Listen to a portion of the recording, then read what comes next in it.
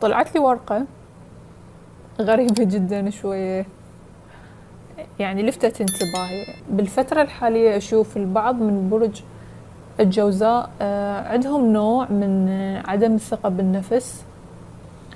أكو شيء أو رحيل مفاجئ فقدان مريت به أو حتى انتقال ممكن نقول من مكان لمكان أو من علاقة لعلاقة أو ممكن يكون أكو شخص طلع من حياتك فجأة طبعا هاي قبل ما أحكي الطاقة العامة بس بصورة عامة أكو شيء لفت انتباهي فحبيت إنه أقوله قبل ما أبلش بالقراءة بالطاقة العامة اللي موجودة. هي ورقة. البعض منكم يا برج الجوزاء شوف آه، رحيل هذا الشخص المفاجئ أو تصرفاته نوعا ما وياكم سببت لكم عدم ثقة بالنفس. أكو اهتزاز بالثقة عندكم. البعض منكم ممكن يكون حاليا مقانع عن وضعه. مقانع عن شكله بصورة عامة. حتى شلون نقول يعني أثر عليكم نفسيا البعض منكم ممكن ما حاب حالة يعني شلون شكله أو مظهره بصورة عامة كله هو ما مقتنع به. بده يحاول إنه يغير من نفسه. التغيير طبعا إيجابي ولكن سبب التغيير هو شخص. هذا الشخص أشوف ممكن أكو كلمة حكاها وهاي الكلمة هي اللي خلتكم إنه تفقدون ثقتكم بنفسكم وتنقلبون رأسا على عقب. مع إنه برج الجوزاء مو من السهولة إنه شخص يأثر عليه بكلام. بالعادة هو اللي يحب يحكي دائما وثرثار. بس أكو شخص أما قال أو تصرف تصرف اتجاه برج الجوزاء خلى برج الجوزاء بالفترة الحالية أه تقريبا ثقته بنفسه ما أقول شبه معدومة وإنما مهزوزة. فهو دا يحاول إنه يجمل نفسه في سبيل إنه ثقته ترجع له مو حتى هو يتغير أو يسوي تغيير إيجابي بحياته الأحسن لا وإنما ممكن حتى يخلي هذا الشخص اللي حكى هاي الحكاية أو تصرف هذا التصرف ينتبه إليه.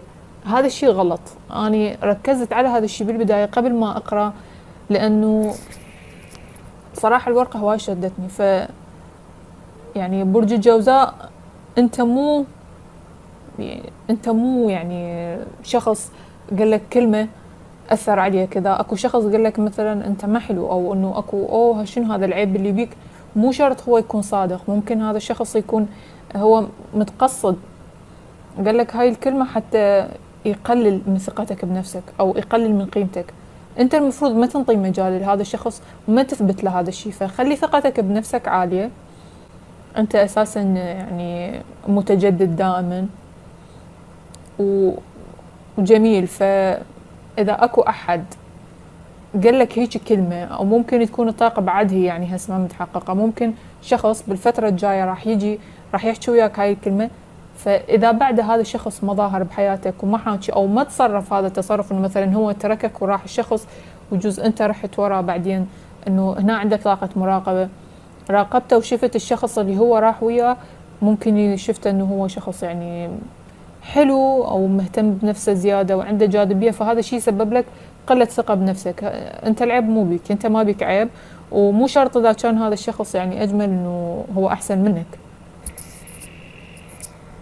أكو أشياء ما تنقاس بالشكل تنقاس بالروح. ف البعض منكم محتاج يسوي استشفاء محتاج إنه يرجع ثقته بنفسه مثل الأول وأكثر بعد هذا الشيء كلش ضروري لأن راح يأثر عليك مستقبلا أساسا على الوضع العاطفي هذا الشيء مأثر عليك. أنت ما قاعد تقدر أساسا تبدأ بداية جديدة. راح أحكي لكم إياها بالتفصيل من نوصل للوضع العاطفي. هسه خلونا نبلش بالطاقة العامة لبرج الجوزاء. طبعا هاي ورقتين طلعوا لي بالبداية أول ورقتين إلك وأنا خلطت الأوراق وحبيت أركز عليهم لأنه حسيت إنهم مهمين. الطاقة العامة إلك يا برج الجوزاء بالفترة الحالية. أنا أشوف أنه أنت عندك طاقة مراقبة عالية لشخص تحس إنه هذا الشخص عنده اسرار آه هذا الشخص ممكن تحس إنه هو عنده طرف ثالث. بعض منكم هو فعلا هذا الشخص عنده طرف ثالث.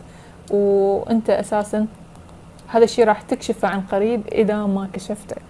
إن هاي الطاقة الحالية فممكن أنت تكون كاشف هذا الشيء أو أنت متأكد منه ولكن لحد الآن أنت ما لازم شيء بإيدك. فاشوف عندك طاقة بحث الفترة الجاية طاقة مراقبة بحث للشريك. لأنه عندك شك إنه هو بالفترة الحالية أكو طرف ثالث موجود بحياته ويشكك بمحله راح يكون وأنت راح تكتشف هذا الشيء. لأن هنا ال Seven of Swords مقلوبة. فهذا الحرامي انكشف الورقة انقلبت بعد. فالفترة الجاية أنت راح تكشف سر عن الشخص اللي أنت حاليا قاعد تدور وراه. أه الشخص اللي وراك أشوف إنه أكو شخص منسحب عنك شوية عنده عواطف مكبوتة تجاهك. ممكن هذا الشخص يكون أه مو الشخص اللي أنت حاليا قاعد تدور وراه لا على الأغلب أشوف هذا شخص جديد أو ممكن شخص من الماضي وطالع من حياتك. صار له فترة ودي يراقبك من بعيد. بس هو متردد إنه هو يتقدم خطوة تجاهك ويبدي وياك بداية جديدة أو حتى يطلب منك بداية جديدة. أشوف أكو هنا عواطف مكبوتة بس هذا الشخص آه راح يفقد السيطرة على مشاعره وراح يحاول إنه هو يجي يحكي وياك الفترة الجاية. بس للأسف إنه أشوف ظهور هذا الشخص راح يكون بوقت غلط لأن أنت راح تكون بيه مجروح أو دا تعاني من انفصال مؤلم. فممكن هذا الشخص يكون ظهر بحياتك بعد انفصال مؤلم أنت مريت به أو دا تمر به حاليا. فلهالسبب أنت يعني سبحان الله هي الأوراق قاعد تتسلسل القصة انقرأت بس من الطاقة العامة. أنت دا تحاول تدافع عن نفسك تحمي مشاعرك وما تنطي فرصة. إنه أنت خايف. أنت مثل ما قلت لك أنت اوريدي طالع من انفصال مؤلم. أكو انفصال مؤلم وحاليا أنت بطاقة الشفاء دا تحاول إنه تستجمع نفسك ودا تحس إنه أنت مو آه، غير قادر على إنه حاليا تبدأ بداية جديدة أو تدخل بمعركة ثانية لأنه العلاقة اللي أنت كنت سابقا بها آه، كانت علاقة متعبة. هواية اضطريت تحارب هواية اضطريت تواجه ناس هواية حاولت إنه تحافظ عليها. ولكن بالمقابل الشخص اللي أنت كنت تحاول آه، تحافظ على علاقتك وياه هو كان مو قد الثقة لأنه أشوف أكو طرف ثالث هنا موجود بيناتكم.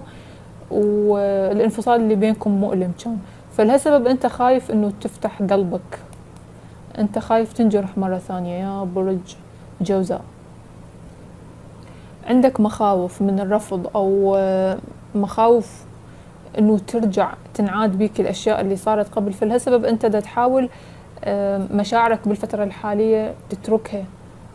وتستمر بتباعدك أو مخاوفك وقلقك. عندك مخاوف إنه أكو شخص راح يخونك بكل لحظة أكو شخص راح يتركك. آه، حاول إنه تكمل فترة الشفاء اللي أنت بها لا تتردد حاليا إنه يعني تاخذ خطوة جديدة. أنا أشوف فترة خذ فترة استراحة مثل ما نقول حاول تطلع من الألم اللي أنت بيه كمل استشفائك وبعدها ابدأ بداية جديدة. ويا الشخص اللي جايك. هسه إحنا فصلنا الوضع العاطفي قبل ما نحكي العملي. خلونا ننتقل للصعيد العملي. الصعيد العملي يا برج الجوزاء. أشوف إنه برج الجوزاء البعض من عندكم آه، ممكن قبل ما هاي الظروف تصير كنت منتظر عمل؟ أكو شغل ممكن أحد كان واعدك بيه. آه، وكنت تشتغل أكثر من شغلة في سبيل إنه توفر مصاريف البيت.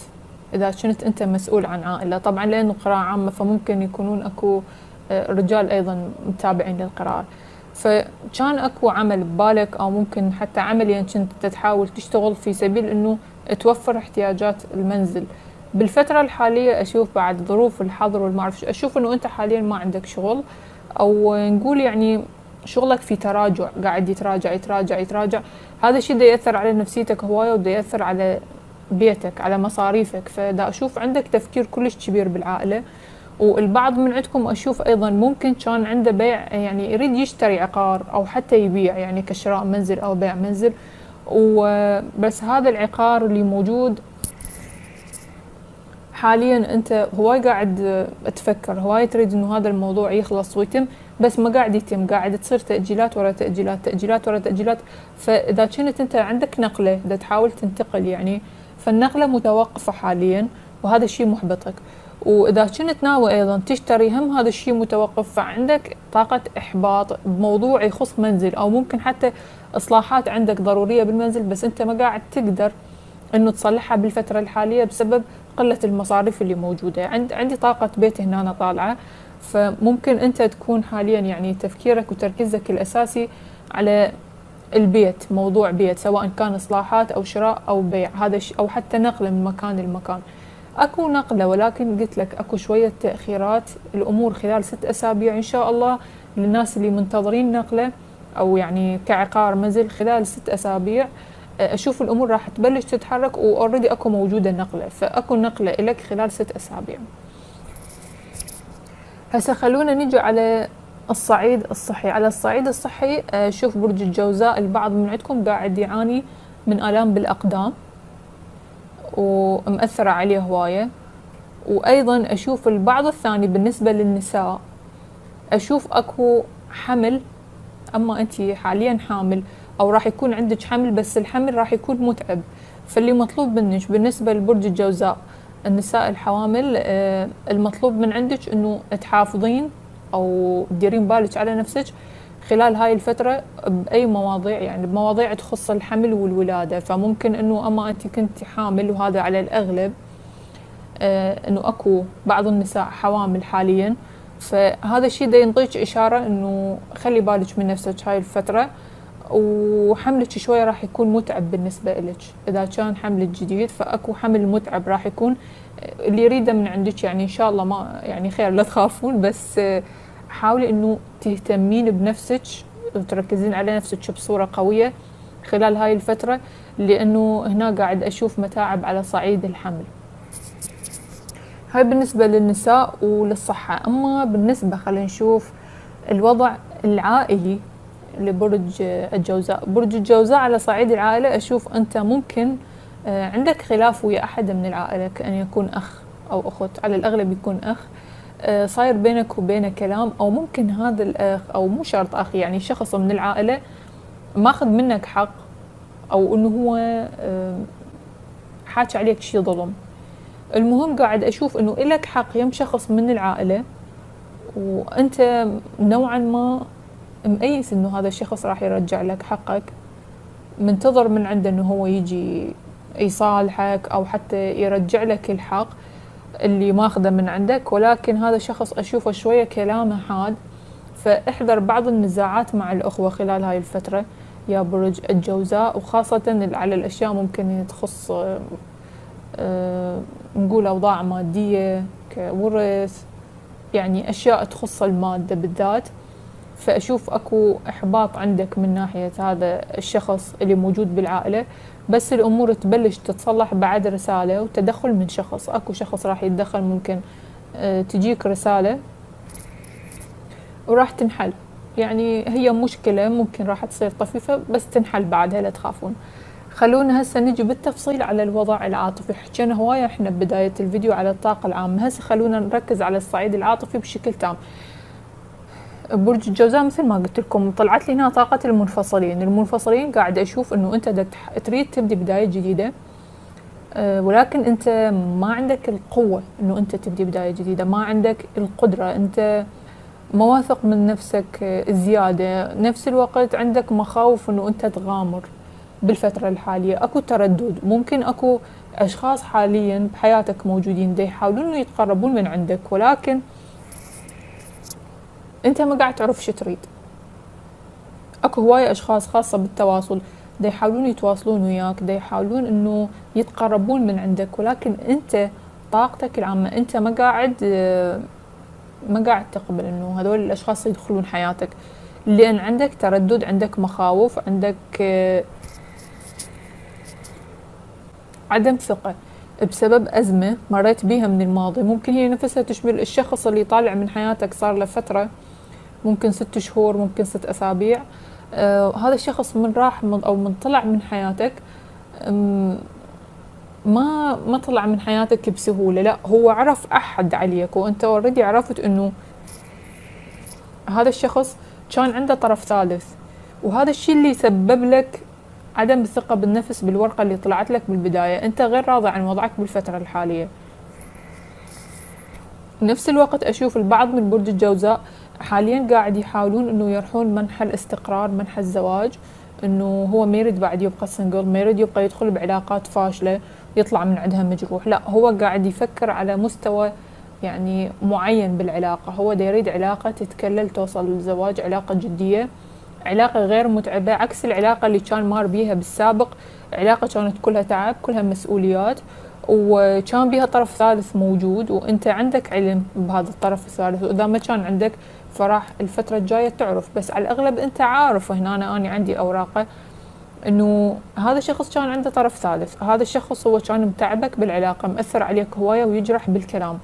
هذا الشخص يجرح بكلامه يحب يسيطر يعني يركز على العيوب أكثر من المميزات. يعني شخص سلبي إنسان سيء. رغم إنه أشوف هذا الشيء ما متناسب ويا عمره ممكن تكون طاقته شوية كبيرة هنا طالعة يمي طالعة يمي طاقة ال Queen طاقة Ten of Wands فهو يعني من تشوفه هو شخصية وشخص تعبان على نفسه ممكن عنده مسؤوليات ولكن هو نوعا ما أشوف إنه هو يجرح بالكلام. هو بالكلام يحكي بصورة حادة وجريئة ويركز على العيوب. ممكن هو اللي يحاول يقلل من ثقتك بنفسك أو يقلل من قيمتك حتى يسيطر عليك.